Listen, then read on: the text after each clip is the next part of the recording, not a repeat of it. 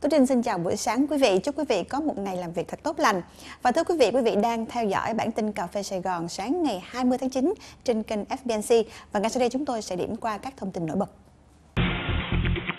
Cảng container quốc tế trị giá hơn 200 triệu đô la đi vào hoạt động. Hai nhà sáng chế nữ lên ngôi ở giải thưởng sáng chế thành phố Hồ Chí Minh.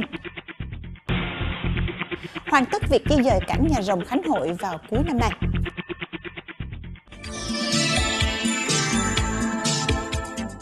Quý vị, vào cuối tuần qua thì cảng container quốc tế SPITC đã được chính thức khánh thành. Dự kiến khi đi vào hoạt động thì cảng này sẽ có những đóng góp lớn trong việc đón nhận luân chuyển hoàng hàng hóa tại khu vực phía Nam, đặc biệt là sẽ góp phần chia tải cho cảng Cát Lái. Cảng container quốc tế SPITC do công ty cổ phần vận tải và thương mại quốc tế ITC làm chủ đầu tư. Cảng có tổng mức đầu tư xây dựng trên 200 triệu đô la Mỹ trên quy mô tổng diện tích 48 hecta, trong đó tổng chiều dài cầu cảng chính là 1.000 mét, Công suất thiết kế 2 triệu TEUs, khả năng bãi container là 34.000 TEUs. Cảng đã hoàn thành xây dựng và đưa vào hoạt động giai đoạn 1 trên diện tích 20 hecta, có thể tiếp nhận tàu vào hoạt động kể từ ngày 1 tháng 3 2016. SPITC có thể tiếp nhận tàu với tổng chiều dài tối đa là 230 m, trọng tải tàu 35.000 DWT. Đặc biệt, vừa qua cảng đã đón thành công tàu Genhua 22, tàu có tải trọng lớn nhất từ trước đến nay vào luồng hàng hải của thành phố Hồ Chí Minh. Phát biểu tại buổi lễ khai trương, đại diện lãnh đạo thành phố Hồ Chí Minh đánh giá cao sự đóng góp của cảng container quốc tế SPITC trong sự phát triển của thành phố, đặc biệt là trong việc chia tải với cảng Cát Lái. Việc đưa vào hoạt động cảng container quốc tế ITC sẽ góp phần giải quyết việc làm cho người lao động, giảm chi phí vận tải, giảm uh, quá tải của cảng Cát Lái, tạo điều kiện cho cộng đồng doanh nghiệp ở thành phố Hồ Chí Minh và các tỉnh thành trong cả nước có nhiều cơ hội trong việc lựa chọn đón nhận và trung chuyển hàng hóa đến thành phố Hồ Chí Minh và khu vực. Đồng thời mở ra cơ hội tăng tốc phát triển về mọi mặt, đưa thành phố Hồ Chí Minh sớm trở thành trung tâm lớn về kinh tế, tài chính, thương mại, khoa học công nghệ của đất nước và khu vực Đông Nam Á. Phó Thủ tướng Trương Hòa Bình phát biểu sẽ chỉ đạo giúp đỡ mọi trở ngại trong quá trình vận hành của cảng. Trong quá trình hoạt động sản xuất, nếu có vướng mắc trở ngại gì cần có sự hỗ trợ của các cơ quan ban ngành của Trung ương, tôi đề nghị lãnh đạo công ty ITC cần chủ động báo cáo và đề xuất để chính phủ xem xét chỉ đạo các bộ ngành có liên quan phối hợp giúp đỡ hỗ trợ cho công ty. Cảng SPITC là cảng biển đầu tiên do một đơn vị tư nhân đầu tư có quy mô lớn và trang thiết bị hiện đại. Theo đơn vị đầu tư, hiện cảng đã có đầy đủ các bộ phận hành chính như hải quan, thuế và ngân hàng. Và dự kiến vào cuối năm nay thì hai bến cảng Nhà Rồng và Khánh Hội hiện đang nằm trên địa bàn quận 4 thành phố Hồ Chí Minh sẽ được di dời về khu công nghiệp Hiệp Phước huyện Nhà Bè. Thông tin vừa được xác nhận bởi lãnh đạo cảng Sài Gòn vào hôm 18 tháng 9. Hai bến cảng Nhà Rồng và Khánh Hội hiện có cầu cảng dài tới 1.800m, trong khi cảng Sài Gòn Hiệp Phước chỉ có cầu cảng dài 800m. Chủ trương di dời hai cảng này của chính quyền thành phố là nhằm tránh xảy ra tình trạng tắc nghẽn hàng hóa vì thiếu cầu cảng tại cảng Sài Gòn Hiệp Phước. Lãnh đạo cảng Sài Gòn cũng cho biết, hiện đang kiến nghị Ủy ban nhân dân thành phố giao thêm 48 hecta đất để thực hiện giai đoạn 2 cảng Sài Gòn Hiệp Phước và xây dựng thêm 1.000 mét cầu cảng để đáp ứng yêu cầu di dời cảng trong thời gian tới. Thưa quý vị, vào chiều ngày 16 tháng 9 vừa qua, thì Sở Khoa học và Công nghệ Thành phố Hồ Chí Minh đã tổ chức lễ tổng kết giải thưởng sáng chế thành phố lần thứ tư. Đã có 10 sáng chế được trao giải, đặc biệt là cả hai giải nhất đều là những sáng chế trong lĩnh vực y học của hai nhà sáng chế nữ. Chung cuộc, hai giải nhất đã được trao cho sáng chế bộ bàn ghế dùng để phòng ngừa và điều trị các bệnh cột sống của bác sĩ Phạm Thị Kim Loan và sáng chế quy trình chiết chọn lọc phân đoạn chứa flavonoid có hoạt tính sinh học hỗ trợ điều trị ung thư từ lá cây trên nữ hoàng cung của tiến sĩ dược sĩ Nguyễn Thị Ngọc Trâm.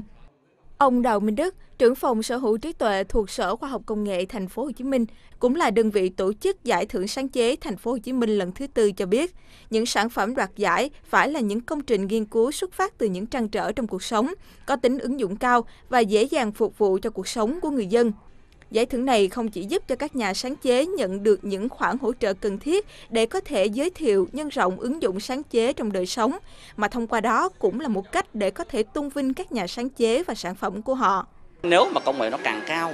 và nó càng khó hiểu thì nó càng khó đi vào phục vụ trực tiếp cho người tiêu dùng. Nhưng nó càng công nghệ mà nó càng gần gũi với đời sống thường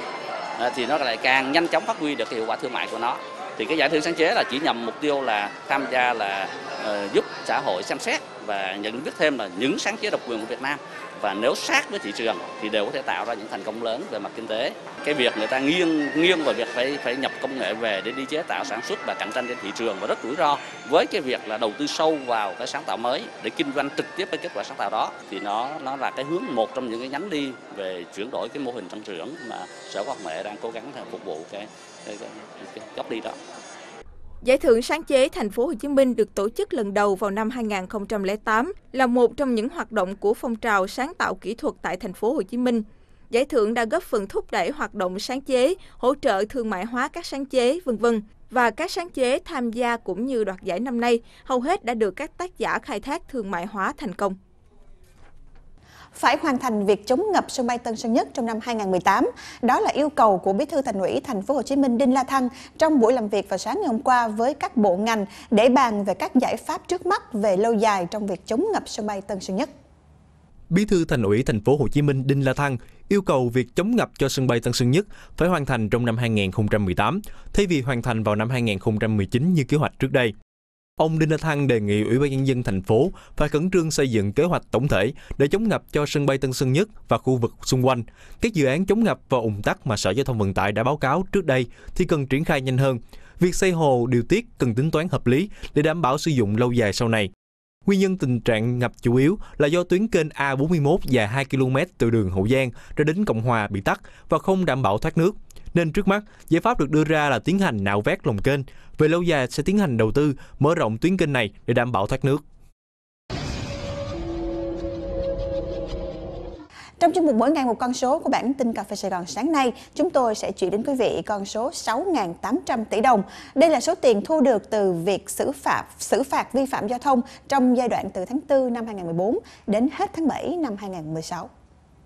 Theo báo cáo của Bộ Công an và Bộ Giao thông Vận tải về tình hình kiểm soát, xử lý vi phạm chở hàng hóa quá tải trọng của ô tô đường bộ, Cảnh sát Giao thông đã kiểm tra hơn 11 triệu trường hợp vi phạm trật tự an toàn giao thông, xử phạt nộp kho bạc nhà nước gần 6.800 tỷ đồng, tước quyền sử dụng giấy phép lái xe hơn 932.000 trường hợp, tạm giữ hơn 1,5 triệu phương tiện các loại.